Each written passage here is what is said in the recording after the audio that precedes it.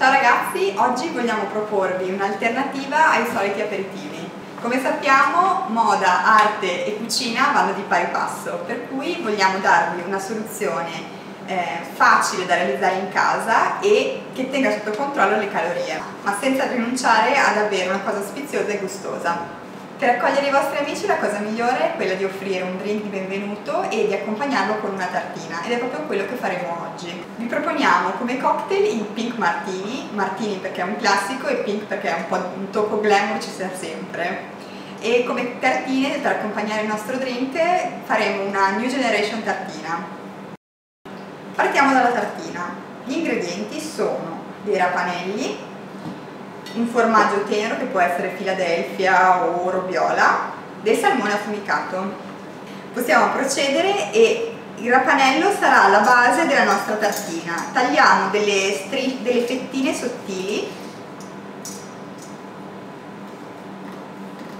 non troppo sottili perché il rapanello sarà la base della tartina. Allora, dopo aver fatto la base con il rapanello prendiamo del formaggio tenero e lo posizioniamo sulla tartina. Dopo aver messo il formaggio possiamo passare a concludere l'operazione prendendo il salmone e tagliandolo a pezzetti. Salmone affumicato.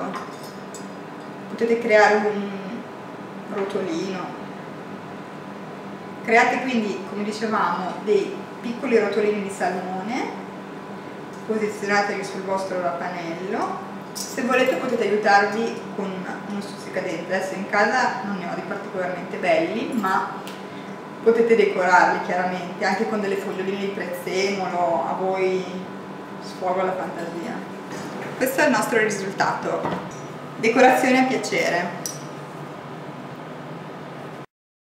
Ora possiamo passare al cocktail. Vi proponiamo come dicevamo il pink martini. Il pink martini non è nient'altro che la versione light del martini royale questo cocktail infatti ha solo 90 calorie perché invece di usare il prosecco come nel normale cocktail utilizzeremo l'acqua frizzante. Eh, gli ingredienti che ci servono per questo cocktail sono ovviamente martini rosé, acqua frizzante, arance e limoni perché come si sa, come vi spiego io i limoni non, non lo fa nessuno, shaker e bicchiere da martini.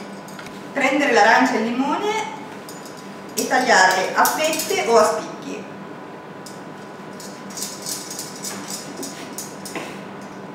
Posizioniamo lo spicchio di limone e lo spicchio di arancia nel bicchiere. Noi abbiamo utilizzato un bicchiere da martini, si può utilizzare anche un bicchiere più ampio. Prendiamo il martini, lo versiamo nel bicchiere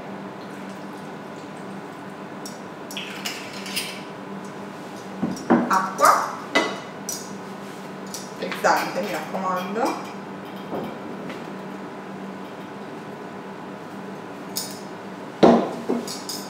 Decoriamo. E voilà una chicca che vogliamo farvi vedere. Abbiamo preparato con acqua e martini rosa anche dei piccoli pescetti di, di ghiaccio salute al prossimo summer tip